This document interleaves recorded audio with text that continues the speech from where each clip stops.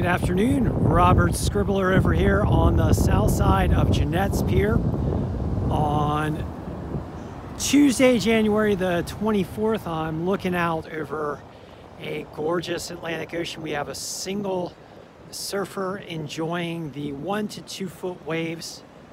Maybe a little bit taller here, maybe, I don't know. Some of these swells look a little bigger than one to two, but we'll just say one to two, maybe one to three foot waves off Jennette's Pier. Full suit in um, evidence here, booties, hood, and gloves. Looks like a mid-length surfboard, possibly a hybrid. Um, I don't know, I'll get a better view of it when we see this surfer pop up. Also worth noting, we've got a bit of a jelly here on the shore. I guess I'll take a look at this jelly here for you guys before the surfer gets a wave. Boy, that's a big one. oh, big old Outer Banks jellyfish. Yep. yeah, don't want to get stung by that one. but yeah, um, not like your stinging nettles. Uh, big, very, very large jellyfish here washed up on the shore. Hopefully not a lot of these bad boys out there. But some, ooh, here we go. A little, oh, late takeoff. Not quite making it. And we're gonna back up here so we don't get our feet wet as the jelly gets washed around in the surf. and rather shallow sandbar here. We're at low tide on the south side of Jennette's Pier. Does look like a mid-length surfboard, possibly a fun board as the surfer paddles out for another wave. It is cool and brisk. Winds coming out. You can actually tell the direction of the winds by the uh, wind turbine mounts here on Jennette's Pier. Winds coming out of the southwest. They have shifted around. Temperature is about 54 degrees, so the winds don't feel warm at this point, but temperatures tomorrow supposed to warm up ahead of a front and some stormy weather expected tomorrow with gale watch watches up along the coast right now. And likely severe weather tomorrow afternoon. And here we go, nice little leisurely drop in here with our surfer over at Jennette's Pier. It is a gorgeous day, but uh, you definitely want to have your warm weather gear or well gear to keep you warm both in the water and out. I'm wearing a jacket a sweater uh, jeans and we've got a damp cool breeze coming out of the southwest here. Hopefully we'll warm up a bit by tomorrow so we can enjoy some warmer conditions. Ocean water temperatures out here around 49 degrees. Very cold You do not want to be in the Atlantic Ocean right now at 49 degree temperatures without a wetsuit for sure.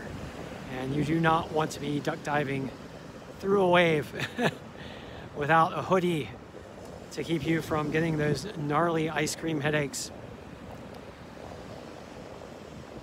Oh, but definitely a very beautiful day here on the Outer Banks once again as the seagulls congregate in the surf, possibly anticipating the storm is expected to come through tomorrow. And various beachgoers enjoy a nice walk on the beach in the low tide as the beach is much larger, much more available beach for a walk here, a nice walk in the afternoon and evening hours. We do have the grackles flying overhead, voicing their greetings to the evening sky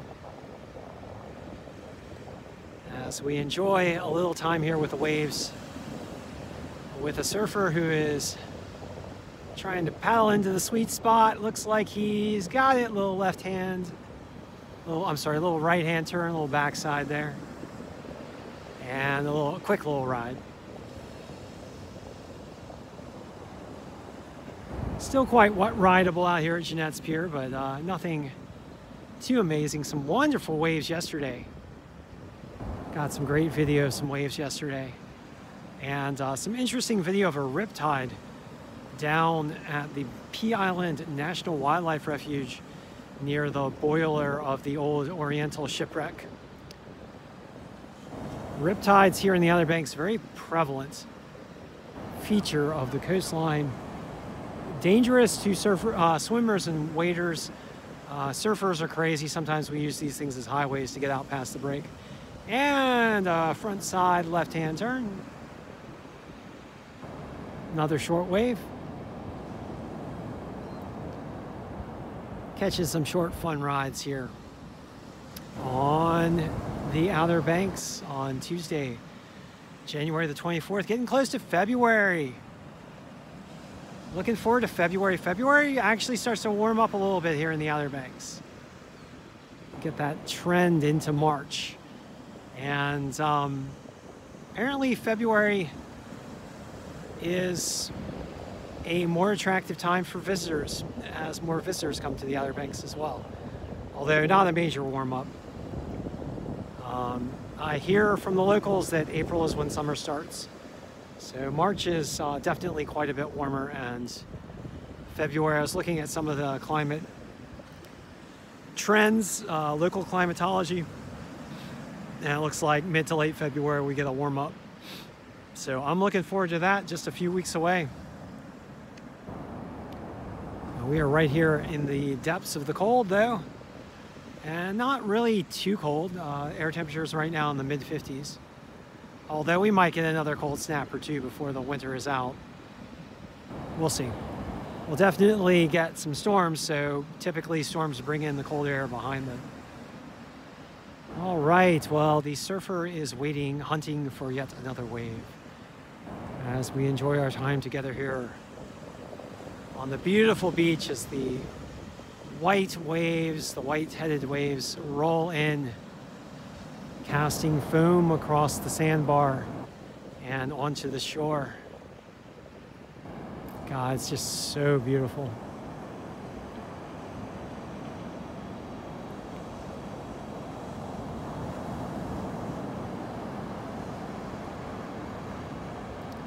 Very large seagull shooting out there over the waves.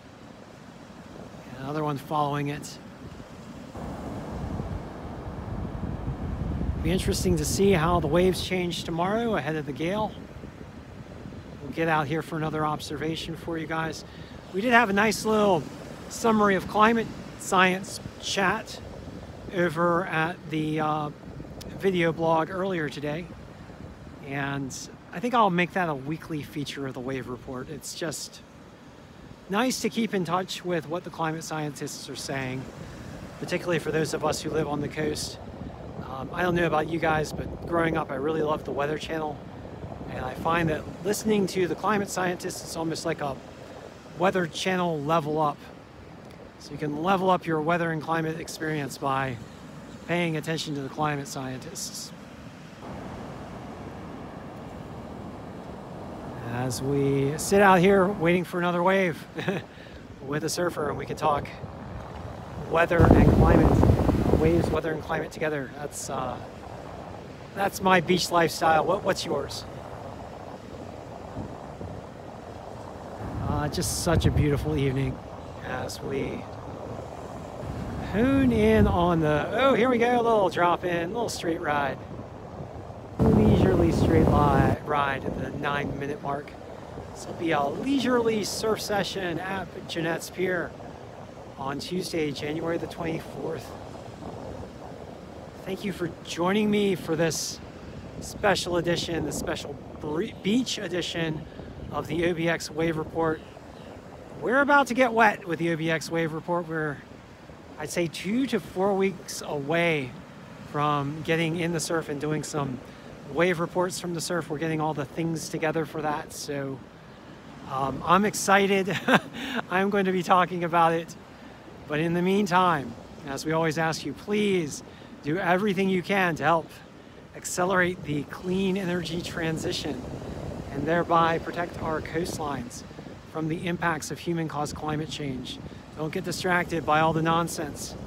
Clean energy is the center of gravity right now for sustainability. We need to adopt it as rapidly as we can. So thank you for joining me, and I will be back with you shortly.